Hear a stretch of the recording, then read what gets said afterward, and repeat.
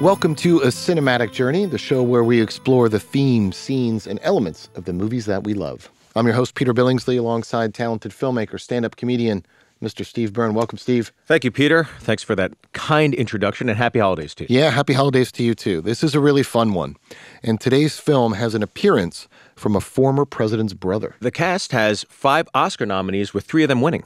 The director got his start directing music videos for both Tupac and Coolio. Uh, the idea for the story was inspired by the producer's child. And it is the third collaboration between the movie's director and its star. Pete, we must be talking about Fred Claus. Ow! You can't take my television. I watched that in bed. Are you nuts? You can't just come running up and kick someone like that. How old are you? Nine. Nine? And you have a 55 inch plasma TV in your room? Santa got it for me for Christmas last year. Yeah, well, the big guy in the red suit's not looking out for your future, is he? You're gonna get hooked on that thing. I can see it now. 16,000 bags of Cheetos later, you wake up, you're 35, you're overweight, you're crying about your life in front of the soaps. I just did you a favor. You get outside, you play around, you make some friends, play kick the can, do some athletic stuff, you go to school, you're comfortable to play sports, you get a partial scholarship. Do you have any ethnic in your background, any ethnicity at all in your background? I bet you do. It's America. Do you know what I mean? Find out what it is and put that down on the application for college. Well, in a fairy tale setting, many mythical years ago, we meet Fred. Fred literally is seeing his younger brother Nicholas being born, and he declares to Nicholas, I will be the best big brother to you in the world. And as they grow up, Nicholas, uh, he's very nice. In fact, he's almost seemingly perfect. This starts eating away at Fred, and Fred uh, eventually makes a turn for the worse. He becomes a little naughty. Now, as they get older, Nicholas is sainted. He's become Saint Nicholas, or as children know him, Santa Claus. Yes, this is the origin of Santa Claus, and we flash forward many years later and we catch up with Fred. In modern times, it is now Christmas time in Chicago. He is a repo man. So while Santa gives gifts, Fred taketh away gifts from people. Fred does have a girlfriend. He's forgotten her birthday again, and he never fulfilled his promise to take her to France. At this point, she's really at her wits' end. Well, we also see that Fred lives alone in a very small apartment, but he's befriended a neighbor kid next door named Slam who seems to be heading down the wrong path. Now, while Fred is charming, he's fast talking, he's very funny, he doesn't seem to be taking responsibility for his actions. He's falling short of expectations. But Fred does have a dream. He has a dream and a plan and a way out of his misfortune. He intends to open and operate an off track betting facility right across from the Chicago Mercantile Exchange. The only problem is he needs $50,000 to put down as a deposit, and he needs it by December 22nd. Fred is broke. Yes. So he makes a quick turn, decides, I know how I'll raise some money. I'll start a charity called People Helping People. Fred has no permit, and Fred is ultimately arrested and thrown in jail. We also catch up with Santa Claus present day. He's extremely stressed out. With Christmas right around the corner, they're running 2% behind, and they barely, barely made Christmas last year. That's right. So with Fred in jail needing $5,000 bail on top of his 50K, he is forced to make the phone call that he really doesn't want to make to the one person he really doesn't want to face. And that is his younger brother, Santa Claus. Yes. And that leads us to the central conflict of this film. Hey, Fred. Hey, So, five grand. Michigan Avenue Police Station. Done. Merry Christmas, Fred. Nick, that is, I really appreciate it, man. You know what? I'm gonna give you something. I'm gonna give you a gift this year. Oh. Yeah, I am, Nick. I'm gonna give you $10,000 for Christmas in cash. Merry Christmas. Okay? How's that feel? Wow. That's. Uh, I don't understand, though. I, I'm giving you five, Fred, so. Nick, listen, you gotta be open to someone else trying to give to you, because it feels good for other people to give too, okay? Yeah. Go ahead, just send me $50,000 on top of the five, okay? Then hold your breath for a month. Let me go ahead and blow that up into 60, okay? Then I'm gonna give you $10,000 off the top of that with the original $50,000 back. So that way I gave you $10,000, you gave me $5,000, I gave you $5,000. Merry Christmas. Wait, wait, wait, wait, wait, wait, wait a second, Fred. $50,000 on top of the five? $50,000, that's, that's just icing on top of the cake. I have a very lucrative money deal going on. Nick, uh, do me a favor. Don't make this complicated. Let me give, I'm in the spirit. Let me give you a gift. Let one brother give another brother a gift for Christmas. I feel great about it. Let me feel good. All right, whoa, whoa, whoa, whoa, whoa, whoa. Please let me All do right, this. all right, all right, all right, Fred, fine. Look, I'll tell you what. I will pay the 5000 for your bail, okay? Uh-huh. But if you want the rest of this, then you're just gonna have to come up here. No! Yes, you earn that money. Okay, let's be honest. Nick, I don't think that's a good idea for me and you to be working with You each know other. something? You know what I'm saying? You've never come up here to visit. Not even once.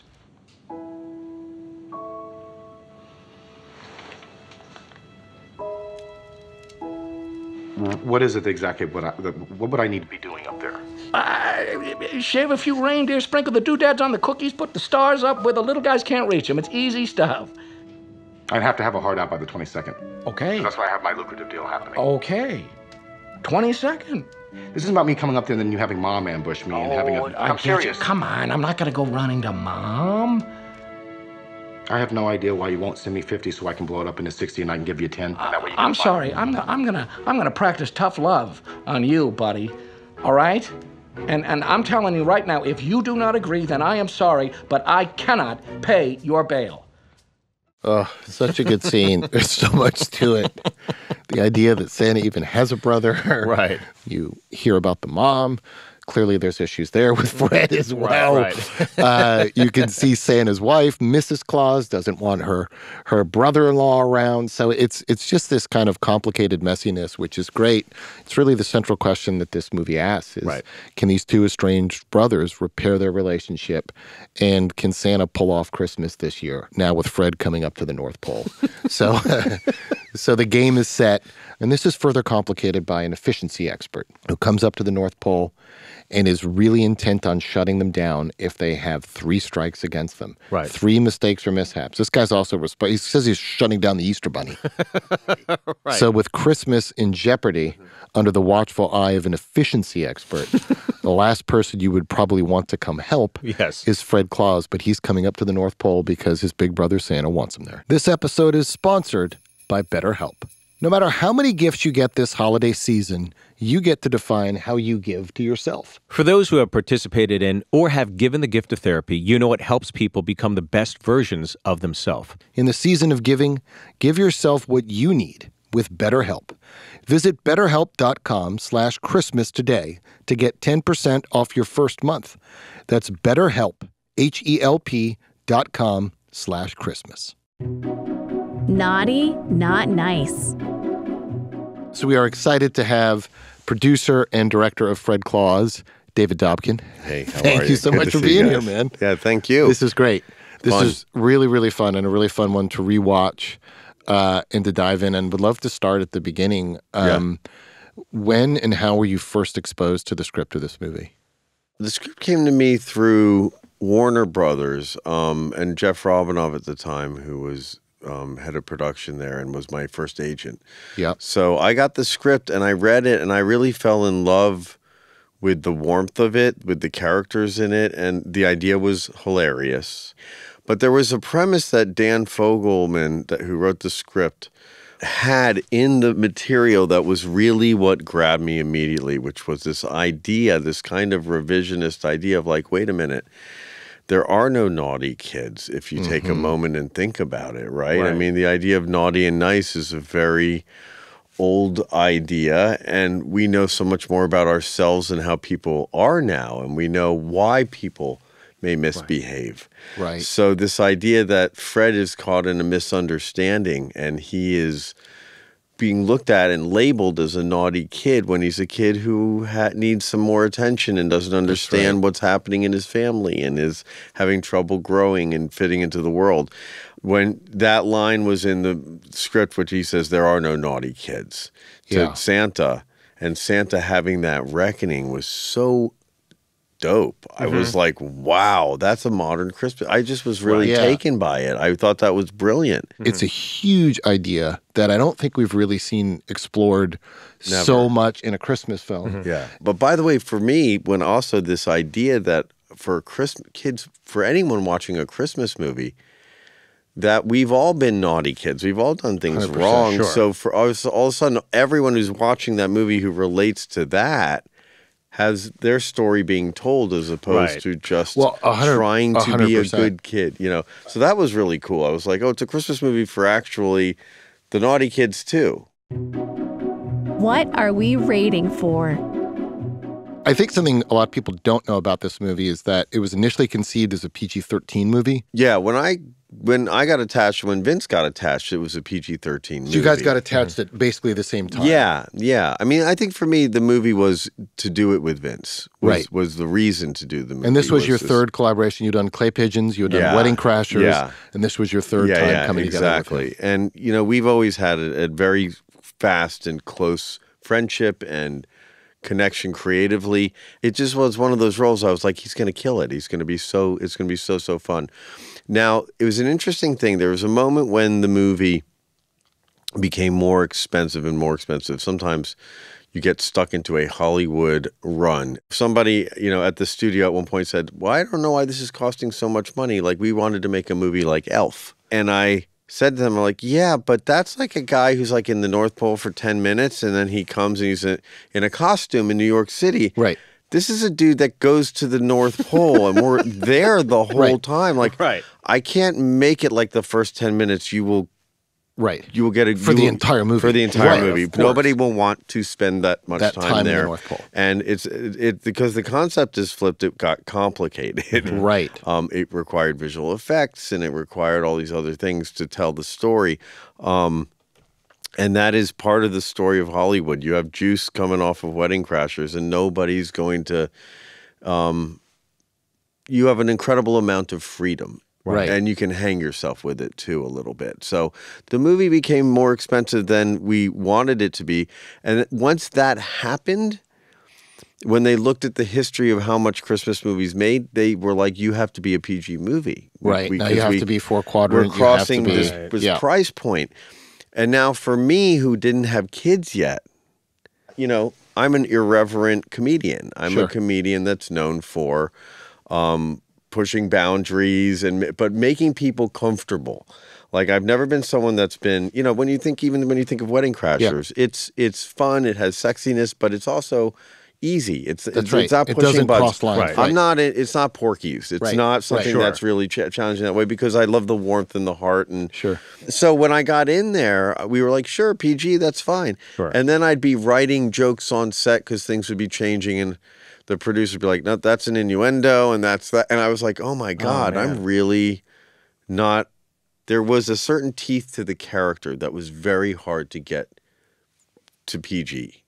And that was Right. You're talking about like Bad language. Santa is what right. they saw. They said, can you do a PG 13 Bad Santa? And I was like, yeah, I can for sure. Right. A PG Bad Santa? No. Very difficult. Hard with And the DNA of that could- story. I couldn't do it. And I, and I didn't learn till later. Once I had kids, I was like, oh, they think, oh, that's what they find funny. You know what I mean? Like it's a little bit broader, it's a little bit different, it's a little bit simpler. Starring lineup. I want to talk about the rest of the cast. We talked about your collaborations with Vince, but the rest of the cast is s- really spectacular. Paul Giamatti is Santa, Rachel Weisz is Fred's girlfriend, Miranda Richardson is Mrs. Claus, Kevin Spacey, who I know has had recent challenges but is terrific as Clyde the villain, and of course Kathy Bates is Fred's mom. Big personalities, though. Obviously, Fun. and great resumes, good collaboration. D- Do I remember this correctly? You came down after breakup. We were in Mexico. We all took a little trip, and you came down for a couple days to hang. Were you reading Phil Jackson's Eleven Rings book? I was. And that deals I've with, and Victoria reminded me of this. And part of that is working with and succeeding with Yeah. big personalities. She reminded me just you were doing your research by reading Phil Jackson. Right. You, nailed it. I, I don't think it was Eleven Rings yet. I think it was um, the last season as well. Okay. but I read them all. When he came to LA and I had watched Kobe and Shaq just get swept every year. Right. I was like, oh, this is gonna be fascinating. I want to see how this guy deals with because he the way he had dealt with Dennis Rodman, Right. I was aware of, and I was like, this guy's a genius.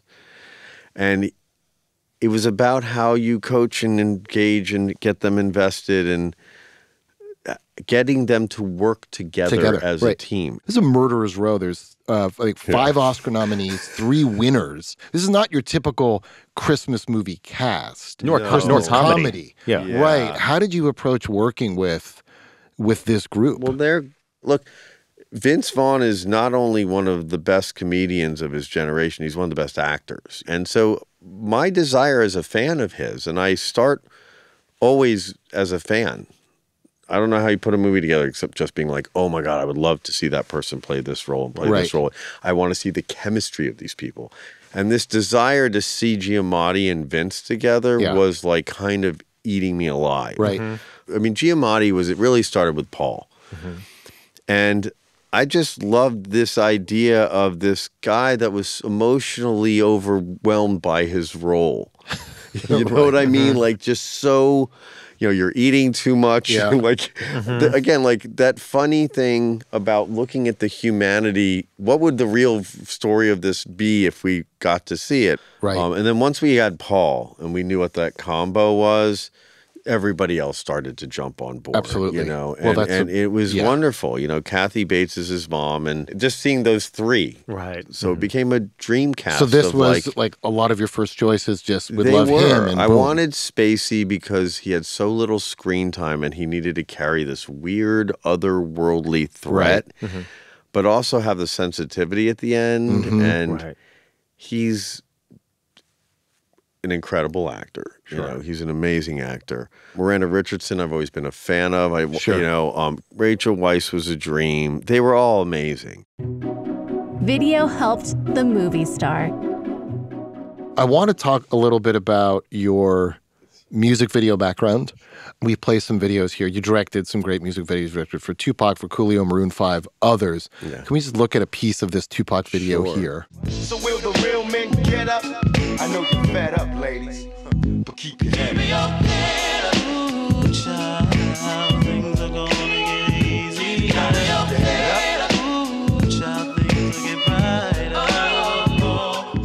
Now you shot that on Rodeo Drive, is that correct? yeah, clearly. No. Okay. Uh, I want to bring that up because it's a device that you also use in film. Yeah. And you think about the great montage in Yeah. Crashers that is just so big and so satisfying. Thank you. You do one here as well, and I just want to take a peek at this scene as well.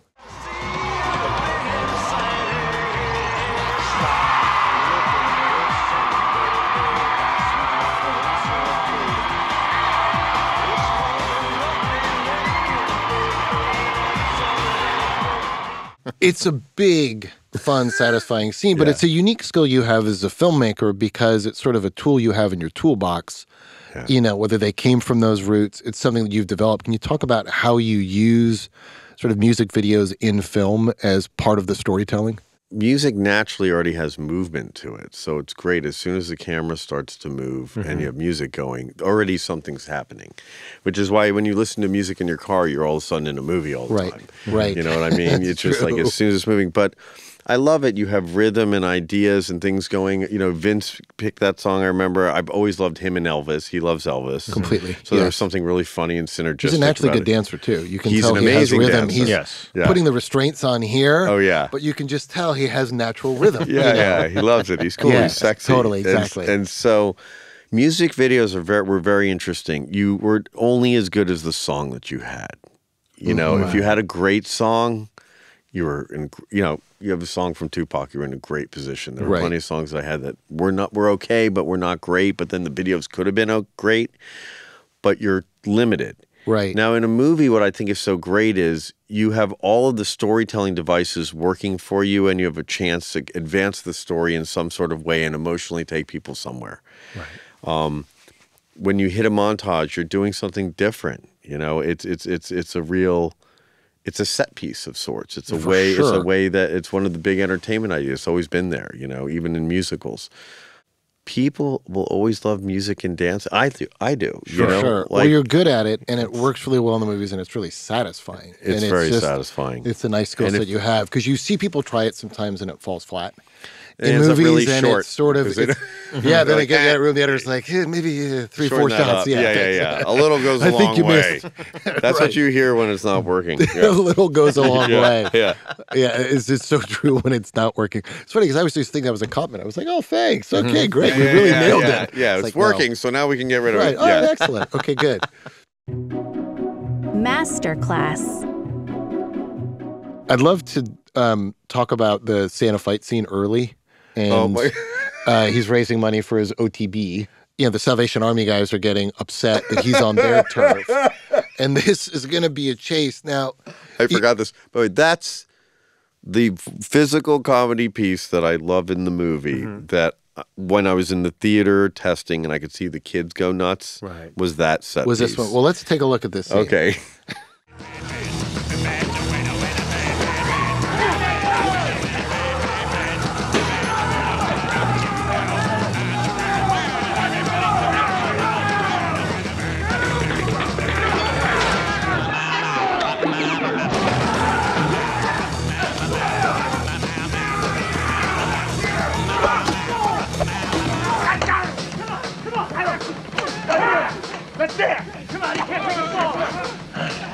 one man's gonna walk away from this thing, and I promise you, it's gonna be the lightning quick dude with the big yellow things in his hand. Dig it?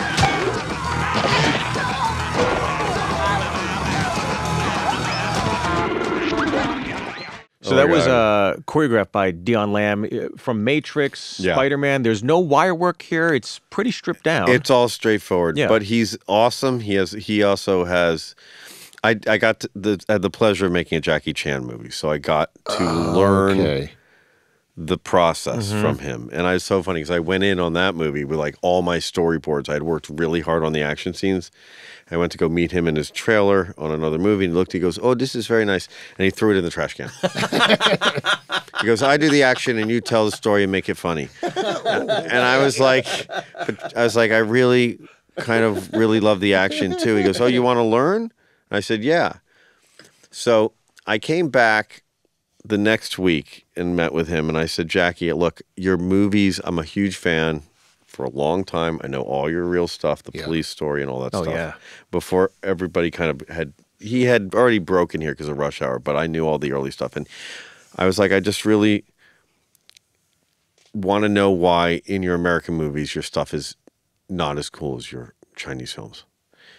And I realized, of course, as soon as that comes out of my mouth, I'm like, oh man, now I'm going to get replaced. And he looked at me and goes, I have no time. I don't, you guys, I spend, you know, tons of time, weeks on these scenes, and you mm-hmm. guys give me two, three days. So I went back to production Interesting. and I came up with this idea. I said, well, if I can slip the second unit, we start the action scenes on a Monday. Mm-hmm. And we shoot for two days with first unit. And then the second unit comes in, we leave that set and they pick it up. So they've been lit and set up by the first Right. unit. Mm-hmm. They come in direct Wednesday, Thursday, Friday. Then I will come because it's a set offset week. I will come direct Saturday and Sunday second unit with Jackie. Right. So he will be on the second unit mm-hmm. For an extra two to four days on every scene. So I huge. went to him. That's a huge amount of time. Yes. It turned this into six Massive days, eight days Right. a scene instead of two to three, four. And I went to him. I said, "Look, this is totally illegal. We're shooting in Prague. No one's going to catch us." I said, "But I'm willing to work seven days a week if you are." Right. And he was like, "Yes," and he was in. I did 90 days straight. I was down for one day. I got so sick, and then, uh, and he did. I think the whole movie, and but it was amazing because when he came in, so that kind of choreography Sort of and your film school of action, if you will. You're learning. you learning because Yes. it's jazz. You, Right. You're making this stuff up as you go and changing the angles and following the ideas. Now, this we tried to choreograph, but Dion thinks like that. Like, Mm-hmm. what is in the environment to use? They don't go looking for like the yellow Right. things were his idea. He's like, I saw these things and Just grab them. and yeah. and, and they were fun. They're just really funny. But that's like And to then- your point, like with Police Story. I mean, Yeah. they're using practical everyday things Oh you see in the mall and Yeah. maximizing every ounce of anything you can see. and in the mall. architecture, everything that he can do. And by the way, when I'm making the movie with the the Jackie Chan movie, Shanghai Mm-hmm. Nights, he'd walk in and try to use whatever was there, and you'd be like, "Wait, wait, we have to rig that. You can't just grab that chandelier and swing over there to that ladder." And like, it was, we had a 24 hour prop shop that, based on what he touched, we would build the the jars or the. It was a crazy thing because it is jazz. right. Mm-hmm. Um, and so you're it, it's also fun because you're on a huge scale and you're trying to make these decisions in the moment. And There's for a me, I felt like there should have been a bigger ending because I was within like, it. oh, he's Right. just he's going to pick up these yellow don't wet floor signs. That's our Right. ending. Mm-hmm. But it was so funny that once he did it and showed me, I was like, oh, I get it. It's Right. really fun. and then once you have Vince saying, you know, the guy with the big yellow things in his hands. Right. Well, it's just- it's just so good. On the mark. I'd like to talk a little bit about Mark Livolsi, who's an editor who you worked with uh, three times that I know of on Wedding Yeah. Crashers, Fred Claus, and then on The Judge later. Uh, some of the directors he worked with, Cameron Crowe, yourself, Jon Favreau, John Lee Hancock, he was sought after by a lot of really quality filmmakers. Yeah. And I think Mark's work has a signature to it. It has, in, in many ways, such a feel good nature to so much of what he does and so many of the movies that he makes. What, what, what was he able to bring to this movie? Mark was so talented. But by the way, maybe the best batting average of an editor I've ever seen. Unbelievable, right? Blindside, Jungle Book, Lion King, Devil Wears Prada, Wonder, Yep. Marley and Me. I mean, these Yeah. are nobody has as many hits. No, I know. And there's no misses Wedding in be- Crashers, in between. Saving Mr. Yeah, Banks. Like I know. It's crazy. One of his gifts, and by the way, most of those filmmakers called me when they were- were about to interview him, and every single one of them, I was, I said the same thing, which was Mark's sense of first of all of the material. He will build out of the best stuff. He finds the best stuff. Mm-hmm. There's nothing will shake your sensibility worse than when you start editing with somebody new and you realize that you have a different sensibility of which shots were the good mm-hmm. takes and which ones weren't. His comedy rhythms are incredible. He has an attack with comedy. He's an aggressive comedy editor. What does that mean? He doesn't wait for the lines to be funny. He cuts them so that they work mm-hmm. funny. Mm-hmm. It's different. Sometimes your actors are being funny and you just let it open and you go to some reaction shots and it runs. Mark knew how to change the rhythms and tighten and loosen and do things and it was it was really amazing and I had I hired him because I went to go see a movie that he had done with Luke Greenfield. I can't remember the name of the movie, but I went in the theater and I was like and it was I liked the movie, but I could tell the comedy editing was really smart. He was getting big laughs out of things that were kind of funny. Right. Because he would upcut the delivery of the punchline and stuff. It was very interesting. And I was like, oh, this guy's very smart. Then the emotional work. Yeah, that's uh, You know, I was on Wedding Crashers when he sent me the scene. I had pitched him how to cut together the tiptoeing down the hallway to each other between Owen and um, Rachel. Yeah, And when he sent me the cut, of, I've never changed a frame in that entire Really? sequence. Yeah. it's tough. Sadly, Mark passed away, but his I know. contributions to your work, Oh to the God. film industry, Amazing. you know, his resume, and it's the nice thing about film; it's going to live on forever. But It it's is. it's it's very cool to hear your thoughts on Mark. Yeah, just he was I never had the chance to work with him, but as a fan of his movies, um, just love what he was able to do. Off with their heads. The movie has heart and comedy, but it delivers on the effects. The sledding sequences are tremendous, and yeah, they're really fun. you get to decide how you what you want to do with the elves. And you made a choice to hire John Michael Higgins to play the head elf. Yeah. Can you talk about just the technical process? You know, you didn't just choose somebody who was naturally shorter in that role. Yeah. Or do forced perspective. You have a lot of options, I guess, if you will, and, and just how you landed on that.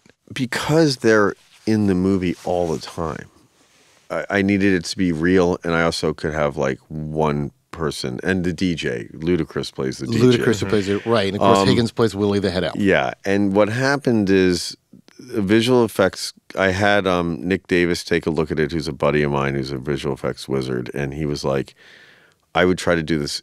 There's an in-camera technique. This sounds crazy, but mm-hmm. There's a guy that I know that's one of my assistants who just did a movie with the Wayans brothers, and he goes, "The little person does the body stuff, and then you redo it again with the head, and you literally just put the head on." And I was like, "That's crazy! Like I that that sounded like a nightmare." Right. But once he walked me through it, it was the only process that was going to financially make sense, and it was going to work. Here we are. Oh, uh, watch your head there. Come on in. Here it is. What do you think? Smurfy. Very Smurfy. To be honest, I don't get many house guests. I don't think anyone slept in that top bunk for a hundred years. Good night, Willie. Thank you for having me. Good night, Fred. You sure you wouldn't be more comfortable down here on the bottom? I don't think it's going to make much of a difference, Willie. And you wanted Higgins. He, he had done breakup with Vince. Yeah, He's I so love- good. They I have a great Higgins. natural mm-hmm. chemistry. They have great chemistry and he- together. and he's a technician. Yes. He's like having a dancer or something, mm-hmm. you know. And he did a great job and it was hard, you know, when the dancing and the spinning like he was on set to shoot everything with the original bot person playing his body. Mm-hmm. And then he had to come back 6 months later and we had to do everything again and put his head So together. you have a body relight it. double, basically, who's who's the the, the Yeah. correct size that you wanted Willie to be on stage. That person is performing scenes and masters with Vince and so forth. And Yeah. then Higgins is there to say the lines off camera. Yes. Vince's eye line is to the body double. That's correct. Then so he has someone to interact right. with. And I shoot a plate. So I remove that them all. I have a background. Now you know they go out there with the silver thing, and you No, have I you, know, you, and you, you get just the map whole- the whole it's damn crazy. thing, I and know. it's so easy now. Right. No, Um, but this was back then. You had to tile. It was just- it was like- frame by frame, go across. It was right. literally only like f- six years from being able to do it in a much easier way. Right. Um, Then you have to go back, and now you're going to get Willie's performance. So that sort of on a green screen is that you're on a green screen and you're on a stage, and I brought back people to be off camera for him. So Vince would come back, could. Yeah. as as much as you could for him. and we'd do it and then they would go in and you'd have to much like uh, any visual effects shot pick the background pick the head you hope they match Right. i mean you're on set trying to rough mat them together high you know high-con mats Sure. to try to see how they line up and then it sticks and look somewhere in there is the magic of it eventually gets there and you're now in the scene again Right. it was complicated and it was difficult, but it ended up working out and it ended up being um, something that was the right solution for the movie. Fully smokes. I noticed something tonal, in something that you did a little throughout and post some of the sound effects. Right. Yeah. So you're and I saw this as I watched the Coolio video that you did. And you did that like I- I it's the very- juxtaposition of these kitty sounds versus Right. something that is on its face not kitty at all. Yeah, yeah, yeah. Coolio.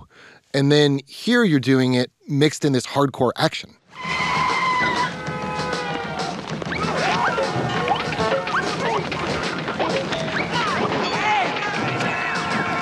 Damn, Pete, you're good. That's crazy. Is that I where you- hide cartoon sounds in the background of the impact sounds and stuff. Mm-hmm. I, I I did it in Coolio and I did it in Shanghai Knights. Yep. and I did it in this movie. Um, I haven't done it in everything, but I I will do it when physical sequences. Right. But I have my I have Tim Chow is my um my sound engineer, and I always have him. He preps a layer of other weird stuff that you can push in, but like horns.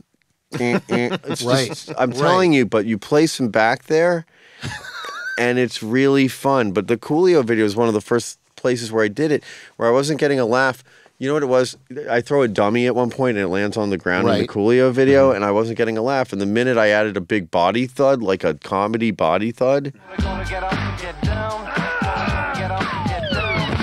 then everybody was laughing. Well, it's because they might not know how to take it, so it can help inform this. You is can laugh at this violence, right? And, and it- yeah. it, it probably It's- helps yeah. with also finding that PG tone in It the helped sea a lot. of a PG thirteen DNA. Mm-hmm. That's absolutely right. You know, those are the sort of sprinkles that you're putting in along the way. Absolutely. That's a little trick I always had. Yeah.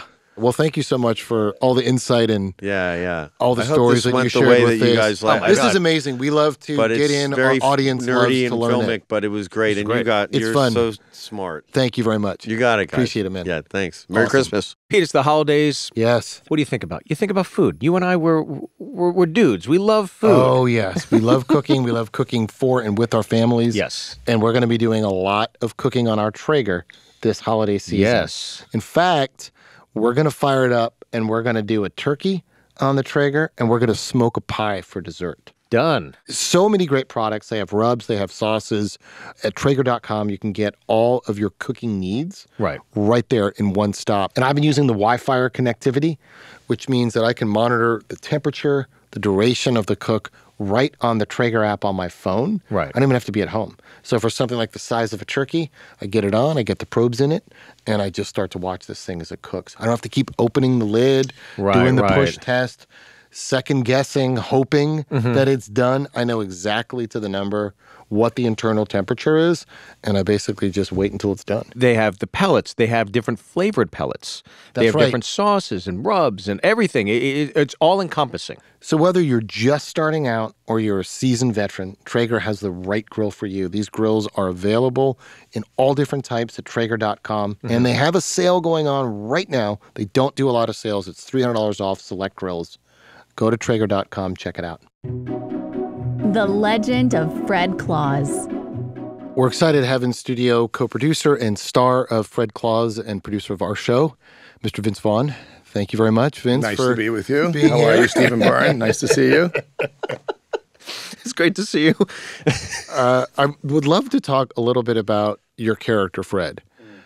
Fred's sort of a darker and I think more flawed character than you might see in a lot of more traditional Christmas movies. Can you Hmm. talk a little bit about how you approached building your character, Fred, for this? You know, it's it's it's it's normal in these Christmas movies sometimes that you would start with someone not really loving the idea of Christmas or Mm-hmm. against it. You know, if you look at like the Dickens stuff or or Scrooge, right? Sure. It's it's usually you can start someone at a place and then they go on a journey and change. So I think for Fred, um, you know, he, you have a sibling rivalry, which is kind of fun. The, the the golden boy versus the kid that could never do anything right. Right. And then on top of it, you have like if your brother's Christmas and you have an issue with him, Right.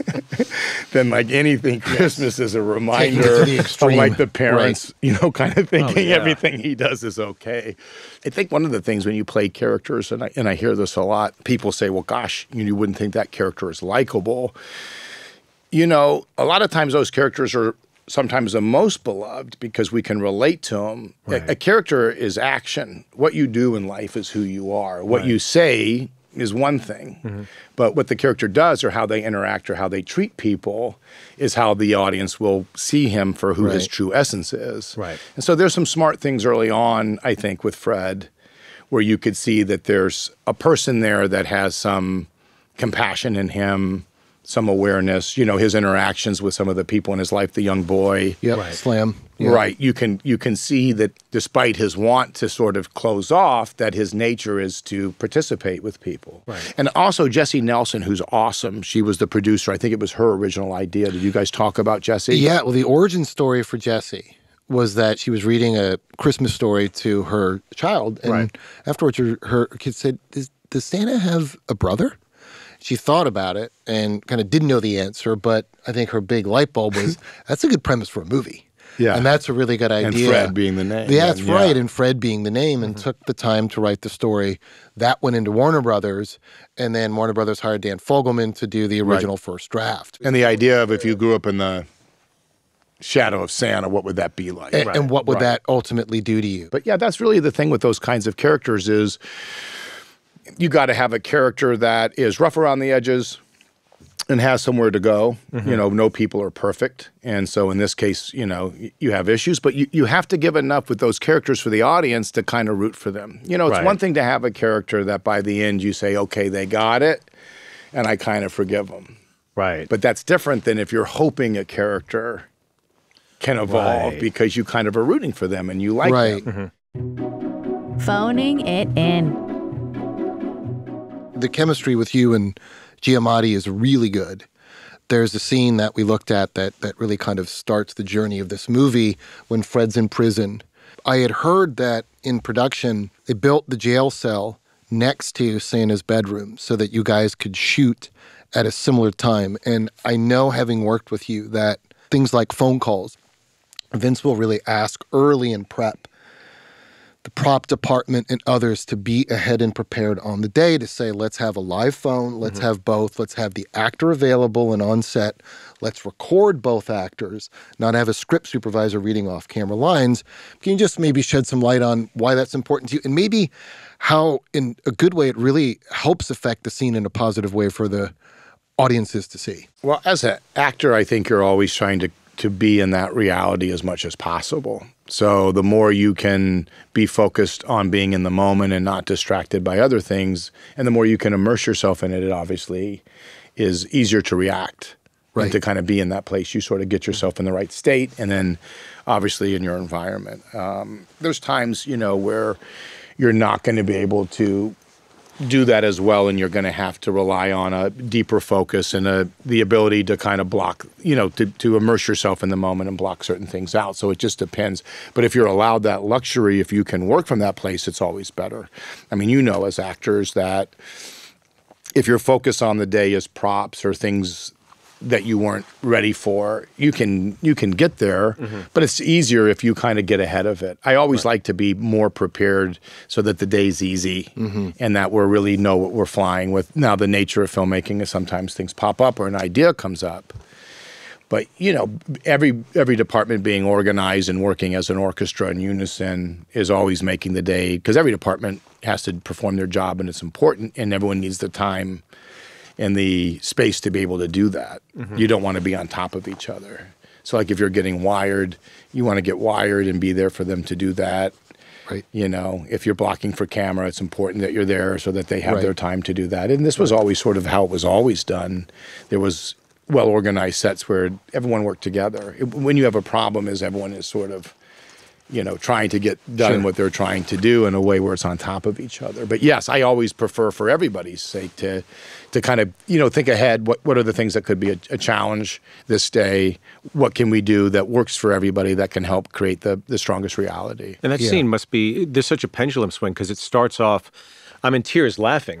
It, it's so darn funny, and then it really ends with, you know, the weight of the entire film. You know, the the inciting incident moving forward, with you guys ending on some real sentiment there, propelling it forward. And you can see why, because I think you can even hear some of the overlaps and they're recording both sides Yeah. of the scene and it feels so real. i think you don't leave that scene and don't like both of them Right, right. and don't want them to Hopefully find a way back. find yeah. some Yeah. connection yeah Siblings Anonymous. There is a really unique and creative way to use the mentor archetype in this movie. Fred has gotten his money for the OTB. He's left the North Pole. He gets home. He sees a gift from his brother. You can tell he's struggling. And that leads him into a really interesting meeting of the mentor. Let's take a look. My name is uh, Fred Claus. Hi, Fred. Hi. I'm uh, uh, I'm Santa Claus's brother, and I got a lot of stuff going on. Is this a joke to you? Uh, Steven, by the way. Nice Steven. Hey, guys, what's up? I mean, because this isn't funny to all of us. But, uh, Stephen, maybe to him, his brother is Santa Claus. I feel like my brother's Santa Claus.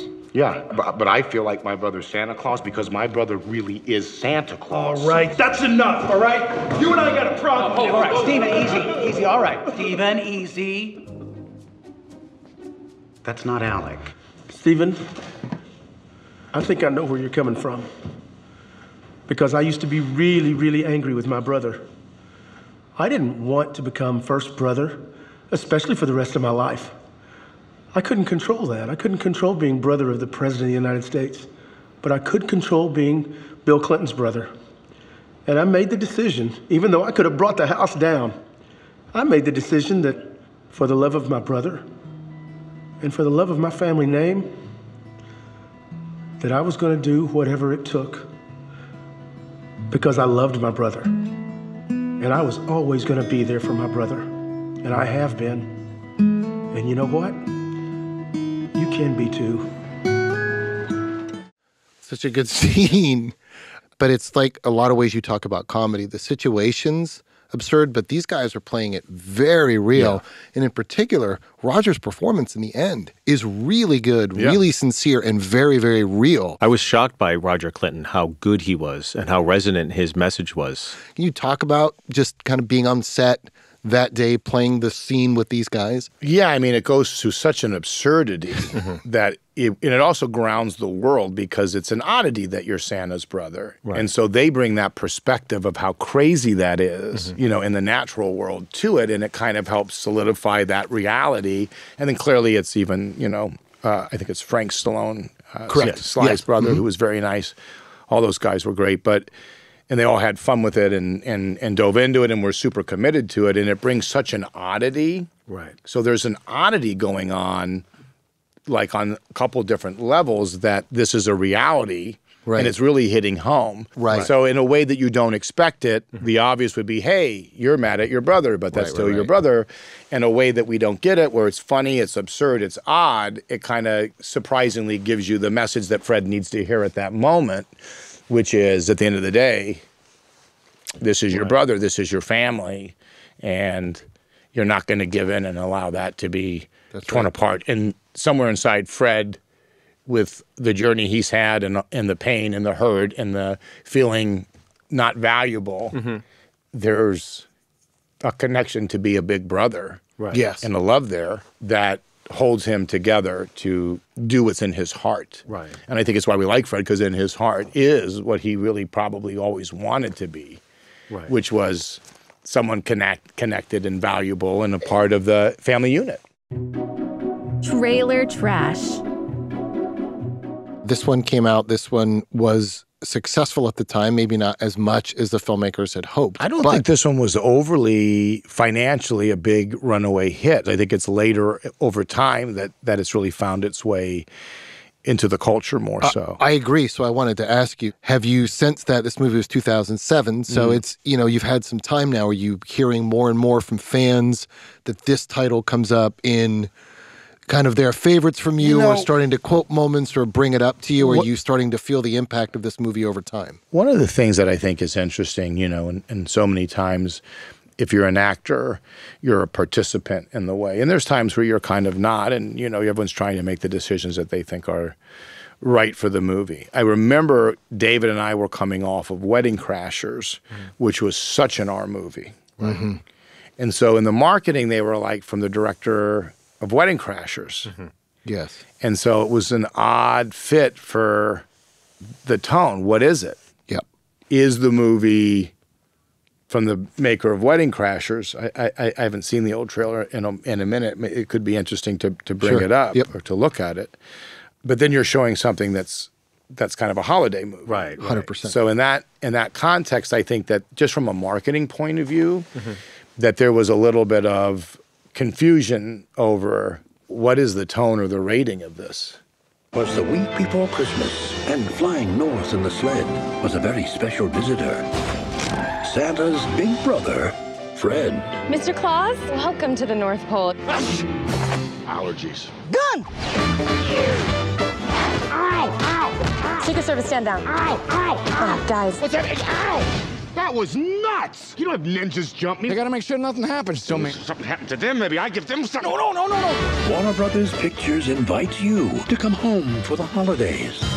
Oh, thanks, Joe. My last eggnog was a little watery, and I'm just hoping this one's nice and thick like I enjoy so much. Okay, Fred. Mmm, back on your A game. The board is seriously considering shutting you down. What? Oh, and also, we're gonna dump the Easter Bunny. Fred! All you think about is yourself. Don't throw snowballs at me. Fat boy! Ah! Come on. Oh, From the director of Wedding Crashers, Vince Vaughn. I'm having a ball? Ho, ho, ho. Paul Giamatti. You need to practice tough love. I'm a saint, sweetheart. Tough love's a little difficult for me. Fred Claus.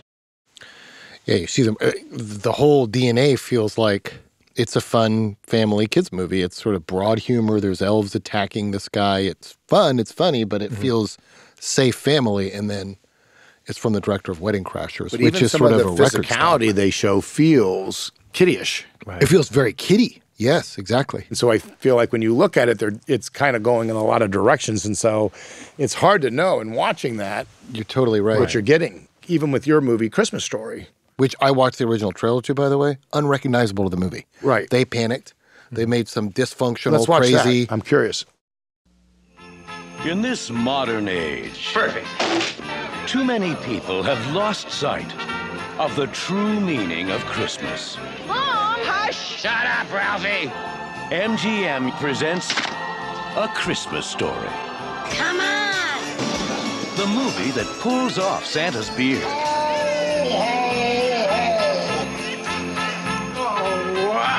And unwraps the secrets. Didn't I get a tie this year?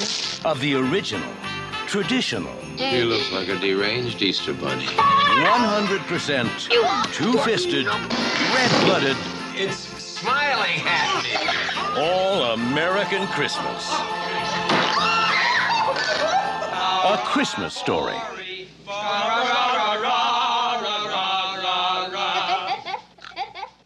They're like a saying fever that dream. this is the 100%, 100% true American Christmas, but they're going to the oddest, broadest Completely. moments of the movie Yeah. out of context in a row, which makes me feel like it's just silly and doesn't have any weight.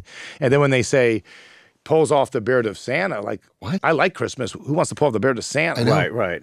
So, it's So it's odd. they didn't know how to sell it. They didn't know They how to leaned into it. the lowest common denominator 100%. of let's go to the, the Right. broadest, silliest stuff. But they they would have loved to sell what they thought was going to work. By the way, no disrespect to the relatives or the marketers. I don't know these people. I'm talking in a Happy vacuum, holidays. and I'm sure they were Yeah. challenged with it. But they were going, let's just go to these strange, sped up bullies punching over and over, and it's like what? So I think the reason that your movie probably didn't do so well is if I saw that, I don't know what Nope, it's about. going. Right. The tone feels super silly, Yeah. Right. and I don't need to have the beard pulled off of Santa, There's and no I don't know what There's- a hundred percent real traditional. Red blooded, two fisted. And then, and then I'm seeing you guys sing "Fa Ra Ra Ra Ra," you Yeah, know, at a at a restaurant, which I know. which wouldn't be like a traditional like a family around a turkey. you know what I mean? Like yeah. what what is what Yeah. is so. To that point, I think the Fred Claus marketing they Yes. went to a lot of the same, I- the same- m- most I- I- I agree. kind of physically comedic Totally. with a tone to let you know don't take it seriously bits that they could go to and i think both trailers kind of made an audience feel like what am i signing up for What, what am I walking into? And a real telltale sign in Fred Claus, that scene with the "Give me one more," I like it smooth. You know, keep Right. it coming. It's not in the movie, It's not even in. and that's like an eight-second joke, and it's not even the movie. Right. So they're pulling. but what is that saying it's like we're Saying, desperate here's a guy who loves sure. to drink alcohol Right. from the director of Wedding Crashers. Right. Cut from but the then we movie have, for a but then we have elves put in the punching trailer. you with, with uh, sound effects. So it's, it's like it's too many of a So they're very similar, but I think like Christmas Story was able to find an audience once you divorce yourself from the marketing materials, from whatever the, Right. the box office performance was, and the movie begins to get introduced to you through friends, recommended. Mm-hmm. You discover it now with a much more clear mind and think, oh, this is cool. And you have you don't carry the weight of that. Right. The movie begins to take on its own unique new life, I think.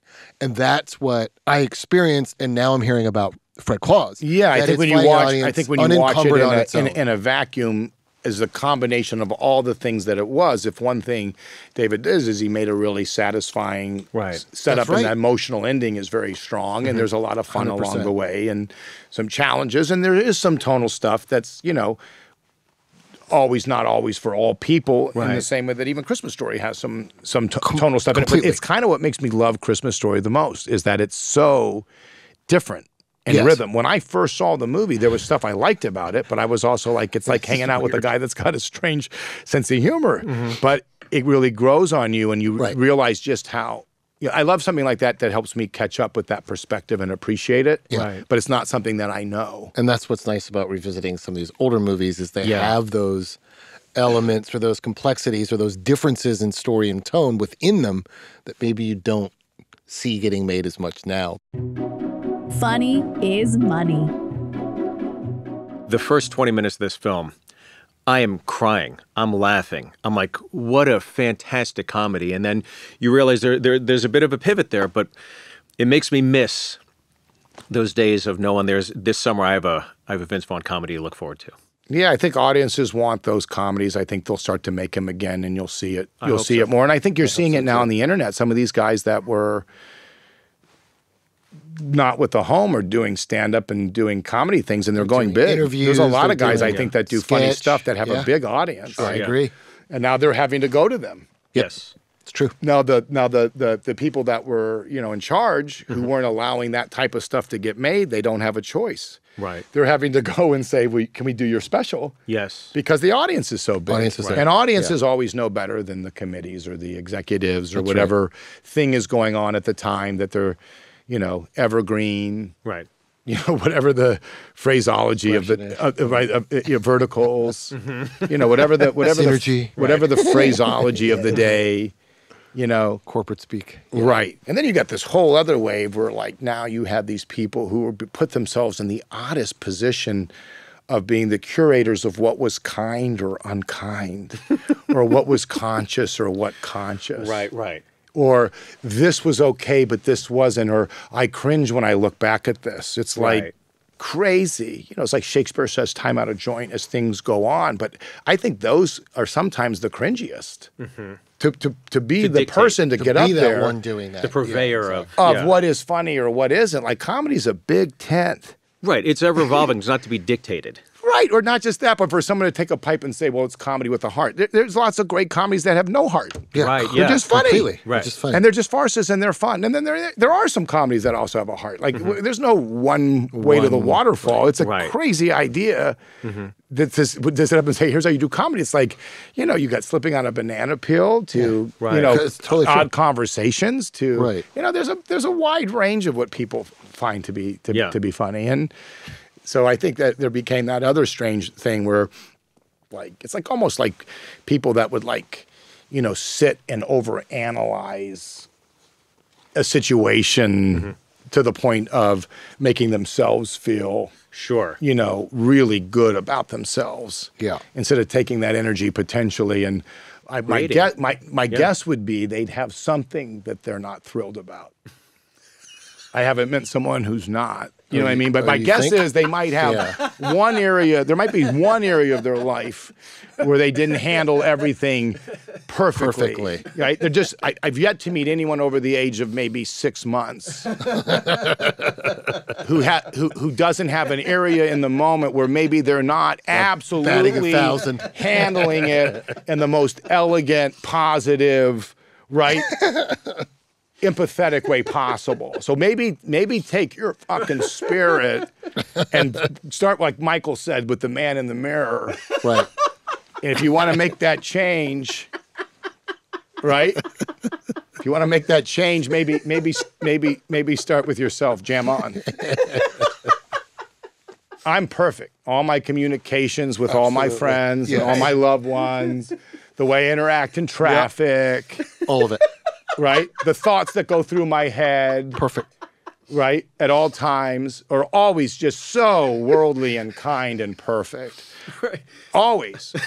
And I'm going to advertise it all day and shove it down everyone's throat. Let me take time out of my perfect, kind jaunt through life to suggest that looking at this, this is truly ugly. And now I'm going to explain why. And it's just, you for- but the but the lack of awareness Yeah. Right. where like as you talk as it, as it goes back to even Fred or something is you know people aren't perfect Right. and life is not easy Yeah. and it's all relative and so part of the journey of life is trying to make sense of 100%. feelings and experiences Yeah. and and points of view and part of that's messy It is, and that's why it, it it's also very relatable. I think you know, especially when you watch this movie, you see shades of yourself in a lot of them. Yes. like the good ones you do. well merry christmas Merry Christmas. Merry Christmas. Yes. Yeah. Thank this you is so much really for, fun to talk for about. coming down today. yeah, Yeah. great to be with you Honestly. Uh, great to be with awesome. you Really, really fun to revisit the movie and to hear your insight and David's insight into this. It's just uh, really holds up well, and I think it's going to just continue to find an audience. Well, thank you. I appreciate it. Nice to see you, gentlemen. You both look you. well put together, groomed today. you. The smells are the smells You are acceptable. It makes it makes it an I'm enjoyable encounter. Thank you. If you're running a small business, especially around the holidays, you know things can get very stressful. New customers and new heights means new problems every single day. And as your business grows and your company expands, the simple tasks you used to do in a day are now taking weeks to complete. Well, this is you. You should know these three numbers 36,000, 25, 1. 36,000, that's the number of businesses which have upgraded to NetSuite by Oracle. NetSuite is the number one cloud financial system, streamlining accounting, financial management, inventory, HR, and more. 25. NetSuite turns 25 this year. That's 25 years of helping businesses do more with less, close their books in days, not weeks, and drive down costs. One, because your business is one of a kind. So you get a customized solution for all your key performance indicators in one efficient system with one source of truth. Manage risk, get reliable forecasts, and improve margins. Everything you need, all in one place with NetSuite. Right now, download NetSuite's popular KPI checklist designed to give you consistently excellent performance, absolutely free at netsuite.com slash Christmas. That's netsuite.com slash Christmas to get your own KPI checklist. netsuite.com slash Christmas. Freddy or not. After Fred has gotten this advice from Siblings Anonymous and from Bill Clinton's brother, he returns back to the North Pole, only to find that Santa Claus is in fact bedridden and Christmas is in effect shut down. Knowing that only a Claus can deliver presents from the sleigh on Christmas Eve, Santa's out. That means only Fred can do it. He's the only one in the world. He's fallen short in everything else. He decides to accept the challenge. Let's see if Fred can pull off saving Christmas and how this movie ends its conflict. Okay, we've got 10 hours, Fred. We need to be done delivering by 5:38 a.m. North Pole time. That's sunrise and that's game over.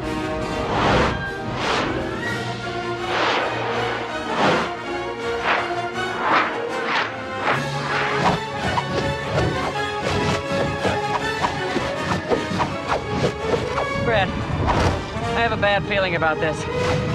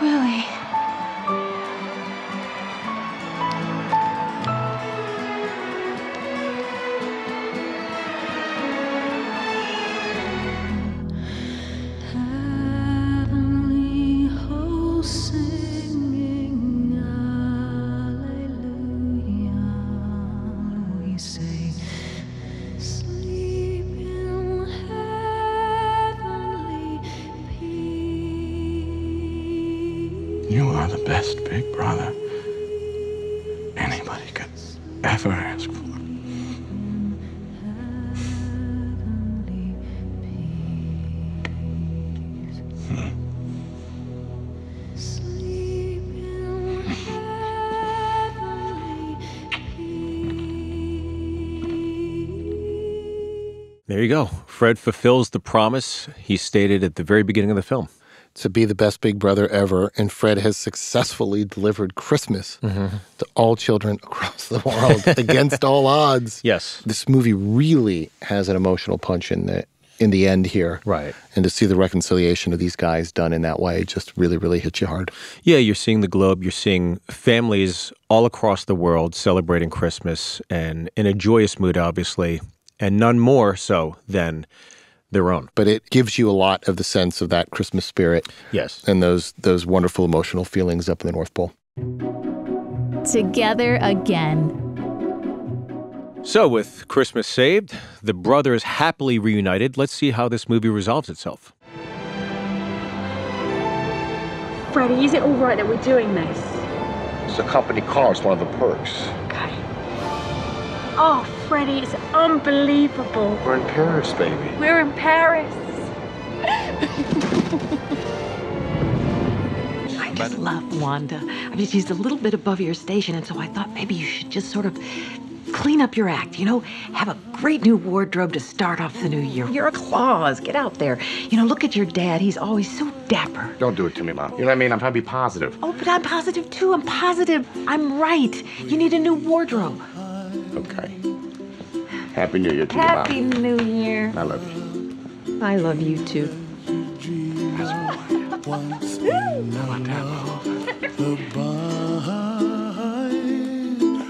I, well, I see trees of green and red roses too. Everything is still not perfect, but family's not perfect, right? That's uh, right. i- but, you know, you hear Mama Claus tell Fred, uh, I love you too. And that's the first time you hear that in the film. That's Mhm. very sweet. And obviously, you know, the resolve with Nicholas is set in place, and uh, everybody seems to be happy. You know, it's funny because Wanda wanted to go to France, right, at the Mhm. beginning of the movie, and he missed it. And they were probably going to you know, fly coach on a budget or whatever. Right. So she gets what she wanted in a way even better than she could have expected. She gets Sure. to ride on Santa's sleigh around the Eiffel Tower in the middle of the night being pulled by reindeer. So there's just a lot of wish fulfillment and kind of fantasy in it as well. And it's a nice love story that Yeah. Fred's able to rectify. And Fred Uh, got his OTB. yeah, and and he's you also see sponsoring some little wrap ups. he's sponsoring Slam's baseball team Right. with an off track betting, and Slam got a family. Yes. This one makes you feel really good, and it's just uh, puts you in a good mood. Yeah, it seems um, maybe misunderstood via marketing, but boy, does this film really deliver and um, has shown resonance over the years. So where this film stacks up, it opened November of 2007 and did 98 million dollars worldwide at the box office, which I think sounds on on the, on the high side, Sure. but still I don't think was quite at the expectation of the filmmakers. Given their budget, Yeah, given the budget being close to hundred million dollars, and as time has gone on, it's it's one of those titles that's starting to move up lists, Mhm. starting to grow. And if you check iTunes and you know all those things for popular movies around Christmas, this one's Sure. popping on the list with a lot of other familiar movies. So it's nice to see. You can see why it's a movie that ages well. Yes, and uh, look, we're very grateful to have David Dobkin and Vince Vaughn come in today. And I think even in talking to them, you know, towards the end of our conversation and even seeing them off, they each seem very, very proud of what they accomplished with this film. Well, there you have it. Enjoyed this one as always. Thank you, Peter. Thanks Thank for, uh, doing this, it. Steve. This It was a total blast. Yeah, this, this was a great one. insightful. This was obviously very funny. Yeah. It is Fred Claus. So, uh, Merry Christmas to all and to all a good night.